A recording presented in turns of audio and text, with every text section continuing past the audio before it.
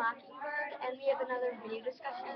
Um, so our video discussion today is about one of the seven pillars of character counts and citizenship.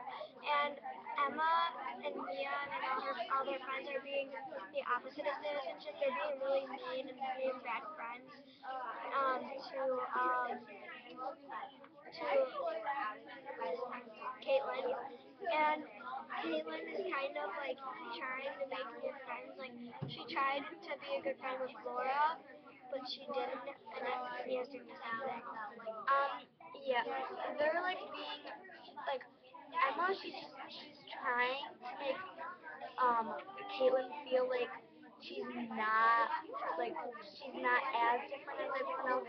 But Mia and and like Laura and everyone else is like giggling at her Mia said like like um Caitlin asked her why she wanted her to um her to go away at the lunch table and Mia says because like you're different and stuff and special yeah disturbing.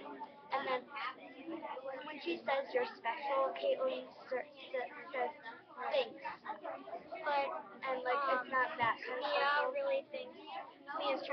that she's special in a bad way. yeah That she's not really someone that should anyone that anyone would really want to be around.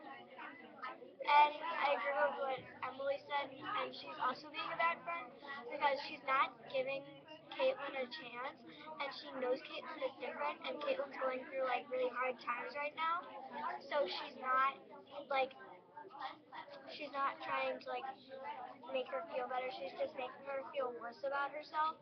I know she shouldn't try to be friends with people because she's never gonna be because she's different and said her behavior is disturbing.